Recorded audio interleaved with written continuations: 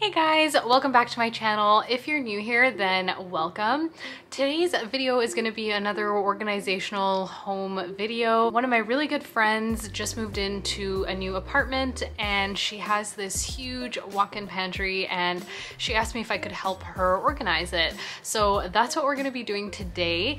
It's not a super long video, but I'm just gonna show you guys the process on how we removed everything, organized everything, and then placed everything back back. We're gonna show you um, some of the bins that we ordered for her pantry and how we planned it out ahead of time. So we're gonna head over there today. We're gonna see what we're working with. Before you guys head out, if you guys like organizational videos like this, then please hit the like button because it really helps me know what kind of videos you guys want me to make. I also just wanna emphasize, I know the recent craze with the home edit and having like your kitchen or pantry look absolutely picture perfect is the rage right now. I just wanna say that my main focus for organizing her pantry is probably going to be functionality. Not everyone is going to have like a picture perfect or a Pinterest perfect walk-in pantry, but uh, yeah, the main goal is to make things functional, easily accessible, and um, sort of intuitive. So if you were looking for something, you would sort of know what section to find it in, if that makes sense.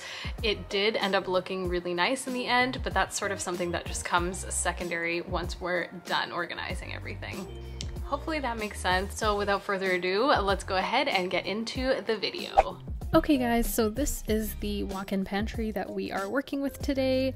Previously, we had a quick Zoom session where me and my friend organized what was going to go where so that she could order some bins and stuff ahead of time.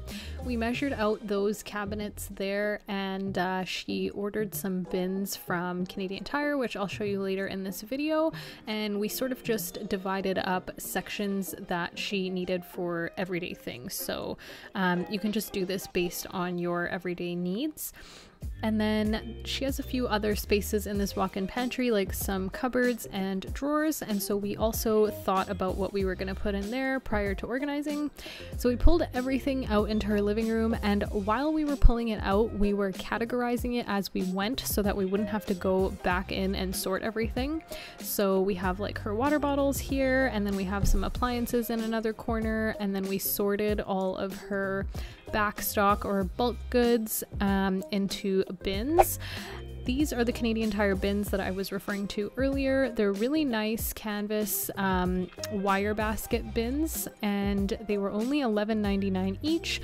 We also made a quick run to the dollar store halfway through the day and got some of these bins as well to help organize some food items.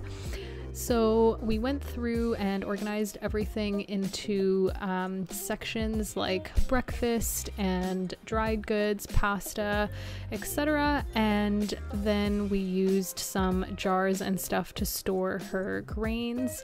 My advice would be to categorize these things in a way that makes sense to you. Not everyone categorizes stuff the same in their minds, and so just see what works for you and then just make sure you section it off with bins. We use this drawer drawer for all of her everyday cleaning products, and then we had some backstock uh, paper towel and toilet paper and stuff that we had kept in the higher cabinets because this isn't stuff that she would reach for every day. Next, we placed all the bins in the shelves and she is going to be labeling those later. We just didn't get a chance to do it that day, but she's basically got medications, games, um, just stuff that she wanted to keep handy in those bins, but it just looks nice and clean and uniform because not everything is visible. In this cupboard, we put a lot of her appliances, and in the drawers below, we just organized some of her water bottles and drink cups because the Soda Stream and her Magic Bullet were directly above where the appliances are. And then in the bottom, we've just kept that space empty so she can collect some towels and extra heat mats and stuff to keep in her kitchen. So this is what I was talking about. We have the Instapot, like a magic bullet, and then the soda stream and some mugs up here. So everything's sort of in one spot for drinks.